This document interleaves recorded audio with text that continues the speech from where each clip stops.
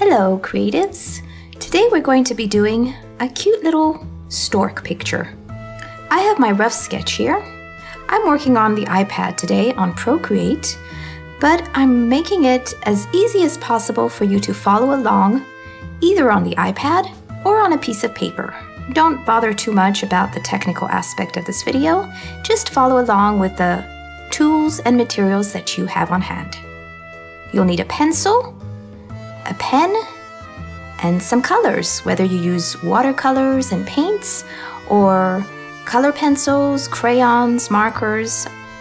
Okay, so here I have my rough sketch of the stork and I will be taking you step by step how I've made this. So first of all, for the stork, I'm not sure if you can see, maybe I'll make my lines a little bit bigger, thicker. We have a circle, we have a triangle for the beak.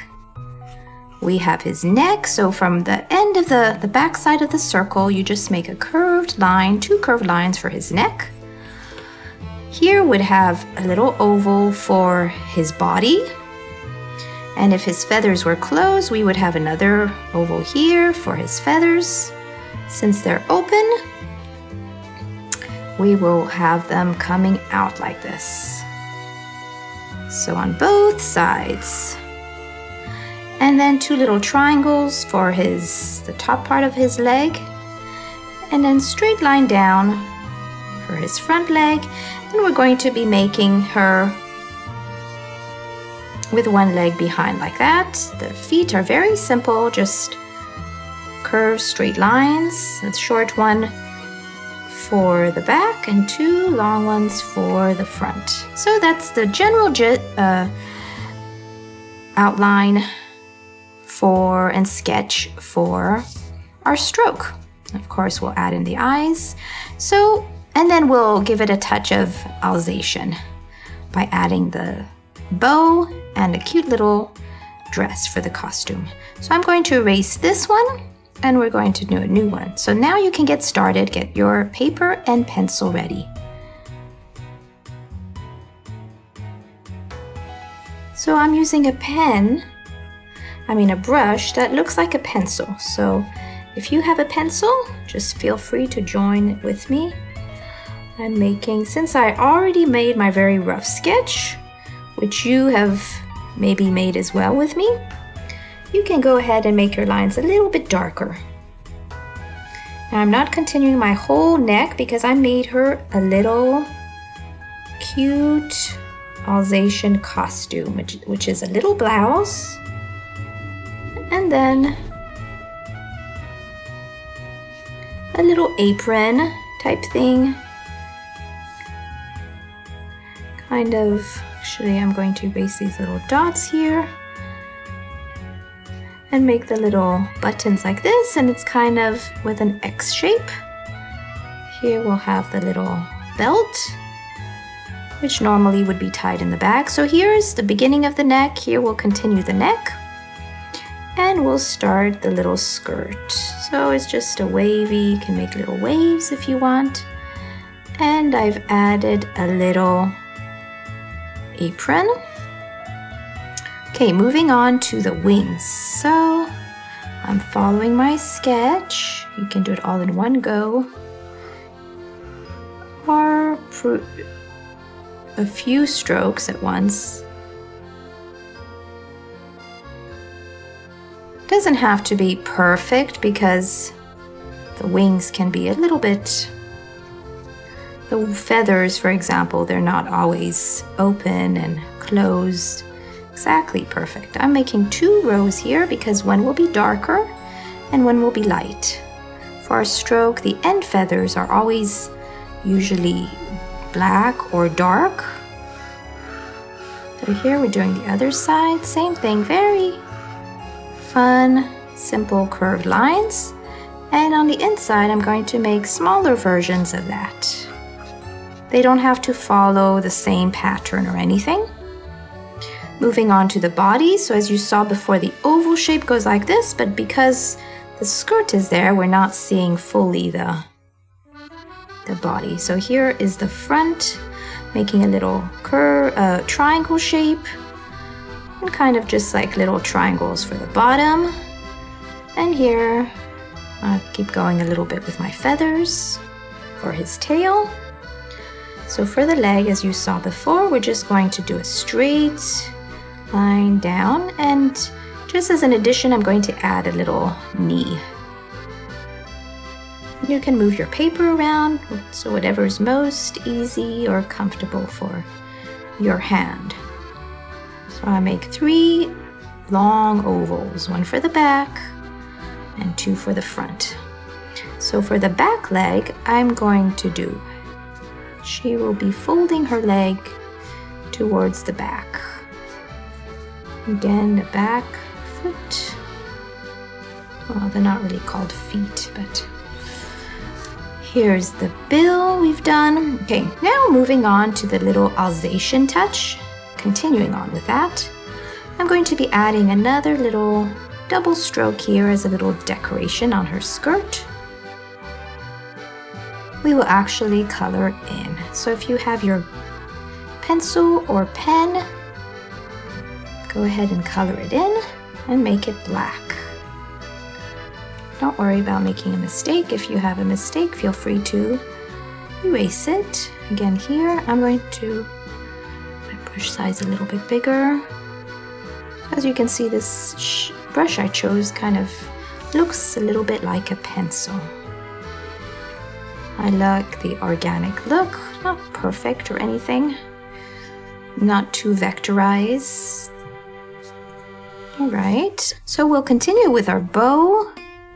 I'm just going to do curved line all the way down like this and then go in. Same on the other side, all the way down and in. This is like the tie of the bow. It's not always needed, but you can do it. And a couple little lines like this. And we're done with our line art. So I'm going to take off my pencil sketch and you can erase your pencil sketch underneath once you've done the pen. And now we're ready to add some color. So I'm going to go to my palette and you're going to go to your color pencils and I'm going to pick an, a black or almost black. So you can pick a black or very dark gray color. And I'm going to start by coloring in the bow. So your strokes can follow the shape and the curve of your picture. You can either make little strokes or you can make longer strokes, as long as it all follows the same direction. Went a little bit out of the lines like this, so I'll erase it a bit. For the back, I'm just leaving a tiny little white line so I can see where it ends, where the top part of the bow ends.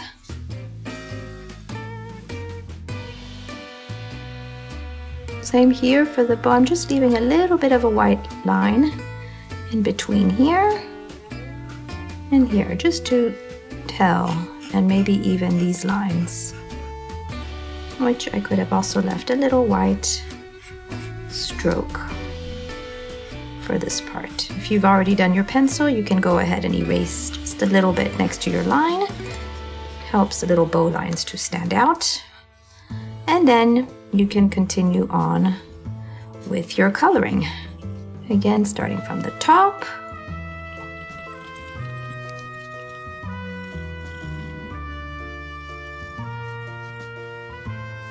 There we go. I'm going to continue with the black. So we have our wings, which will be black, the ends of the wings. So as I told you, we have two different um, parts of the curved lines. The feathers, we're going to color in all the end ones. So again, you just take it, take your time, go slow. You can leave a little bit of white if you want sometimes either on the top or the bottom. Because the feathers are never totally black, there's always a little bit of lighter colors and grays to it. which we'll work on that in a little bit.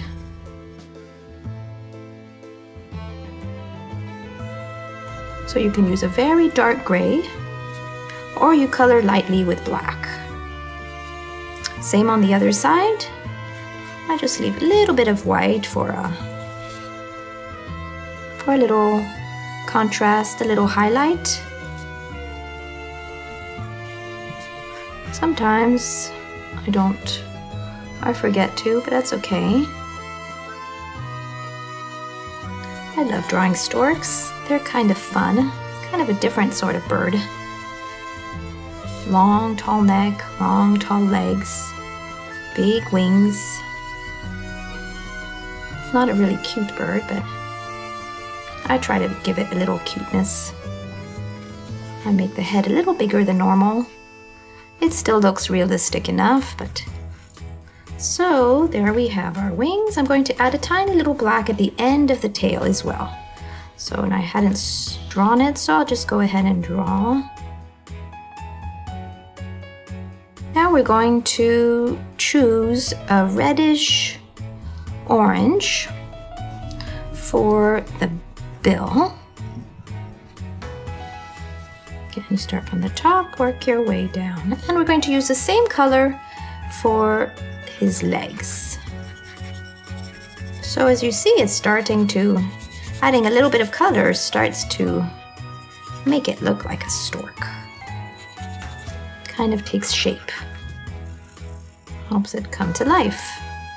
I could up my size, but I'm kind of doing a, as if when you were using a pencil, you would use lots of little strokes. On the iPad, I could just easily fill it in, but I kind of like the drawn, the hand-drawn look too. There we go. Now we're going to choose a red for the skirt.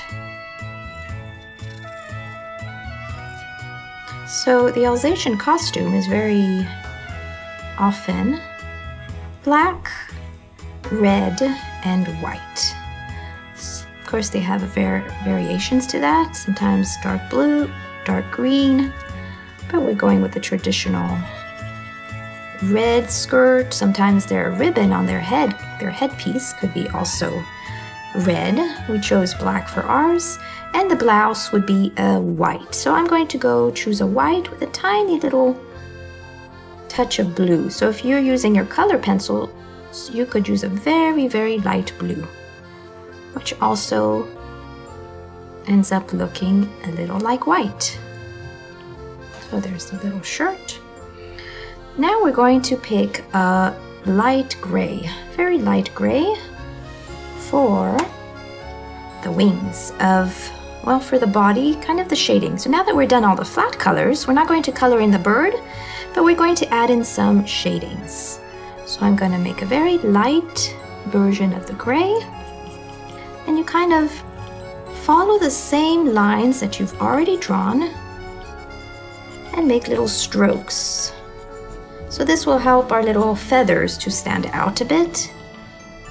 Even a little bit more. I'm kind of following the curve as I add my lines. And I'm going to add a few more because his wings are full of feathers I don't know if you can see so well.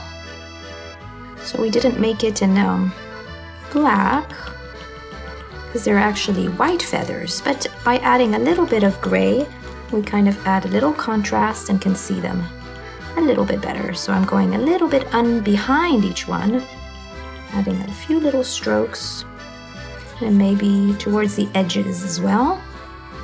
I'm going to go to my dark wings and add a little little touch of gray kind of in the middle to show kind of like actually very simple would just be to add a straight line in the middle of your and I'm going to also the line the little white highlight I left I'm going to make that gray as well and adding a thin line to the middle of your feather it kind of makes it look kind of featherish so On the other side, I'm doing the highlight in gray and a line in the middle. That's kind of the easiest way I can think of making the feathers. You don't have gray, you can actually use a white pencil and get the same effect because you're just drawing over the black. So see how that would work for you. And I'm going to go ahead and add again here on this side some of my strokes. Here I'm going to add a little bit more gray because it's kind of the back behind the body, sort of, so has a little bit more shading and even behind the beak, just to help it stand out a little more. Kind of makes it look 3D realistic. Here too, a little bit more shading. And I will draw the extra little feathers. Now I'm gonna go for the face. So we, I still have my gray pencil, just a little bit here behind the beak. Going to make our stork look a little bit roundish like this. So I go a little bit harder on the edges and then towards the middle I go even lighter strokes. A little bit here, a little darker on the neck part. It's almost like you can leave like little feathery strokes. See, so you're giving it a little more shape. Makes it look kind of roundish. And let's go to the body. So again, a little bit underneath the skirt as there would be a little shade there. Kind of go for the corners and edges. And also underneath, behind the feathers, let's add some shading as well as a little bit here. Here behind the first leg, maybe towards the edges as well. And the back leg, I will maybe make it fully gray. That way you can kind of tell that it's behind. And I think we have our body. So it's coming together. Now I'm going to give a little bit of shading to the beak. So I'm going to pick a brown. Doesn't really matter what brown, just just a, or very you could use also a red or a darker version of orange if you have different ones. So I'm just going to make a little bit on the bottom part and on the edges like this just to again make it stand out a little bit. Maybe I'll pick a little more reddish color. Oops, that's too dark.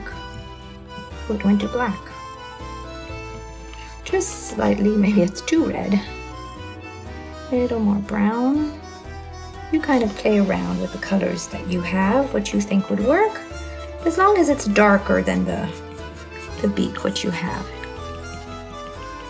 So I do just the bottom part of it, and also for the legs, I'm going to do a little bit darker. A little bit under here and on one side of the leg. That way it kind of shows where our lightest source is coming from. I like it to come from the left here. I'm going to do a little bit of the bottom and the back. Here and here at the bottom. Like that. Same on the other one, a little bit on the top here and on one side. And now I'm going to pick a yellow and add little highlight. So I think the highlight always does the trick to help it stand out a little more. And I'm doing the highlight on the top part of the beak. So you can see it kind of makes it look roundish so if you have a color pencil, you could use yellow or even add a little white if you notice that your yellow is not coming, is not strong enough. And just do it on the edges like that, the opposite side of the dark shade. Can even make mine a bit lighter as well.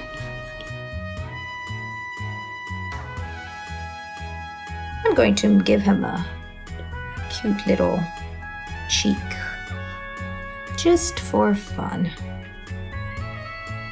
Since it's a her, let's see if it works. to Maybe a little, there we go, little oval for her cheek. And I'm going to go to her skirt and we're going to add a few highlights as well and shadings. So again, like we did our other ones, we're going to go to the edges and add a little bit of a darker color. So if you don't have a darker red, you can just uh, use a brown. That works perfectly well, which is what I've used here. So I'm going to just make a little bit on the side here behind the I put a little stroke here behind the apron, under the apron, here behind the wing a little bit, then I could do a little bit here, little shade. I kind of go with where the skirt little uh, curvy lines are. And here, because there's a line, so I'm going to go behind there. And maybe a little bit here. It just kind of makes our skirt come be a little bit more realistic. Now you can choose a pink. A pink or a white. And we're to do tiny little highlights in the middle part. So here are the upper parts, I did dark. Now the middle parts, I'm doing a lighter color. I think this really gives it a nice 3D look type thing. I'm doing very lightly, very soft. And a little bit in the middle here for the belt. Alright, and I'm going to pick white for the shirt. I'm just going to put also just some highlights for the middle parts. I'm going to go to my bow and I'm going to go darkest, darkest possible. So if you did a very dark gray, you can also choose a color that's even darker because we're going to give a little bit shading, a little bit. So I have my outline, my little white stroke that I left here. Underneath that, I'm going to go even darker with my darker black. And I'm going to continue dark behind the head since our bow is behind the stork's head not all the way, but just kind of like that. And on the ribbon as well. The ribbon will have quite a bit. And again, for the next one, I'm going to go underneath the line. And then again, a little on the top as well. So I go darker, and then the further I go from the first line I made, I'm doing it lighter and lighter. Same on the other side, so underneath that white line, I'm doing a dark one, and then little strokes underneath that. Then I'm going to continue behind the stork. It also helps the stork to come out, to stand out a bit more because I'm giving a bit more contrast with the bow. Again, underneath a darker and then little strokes. And for here, also, I'm going to pick a lighter gray now. I'm just doing a new layer, but you can go ahead and do yours over. I'm going to just do a little highlight on the bow here. So you might want to use white, because I'm not sure if gray will show up for yours. Just going to do a little, little highlight.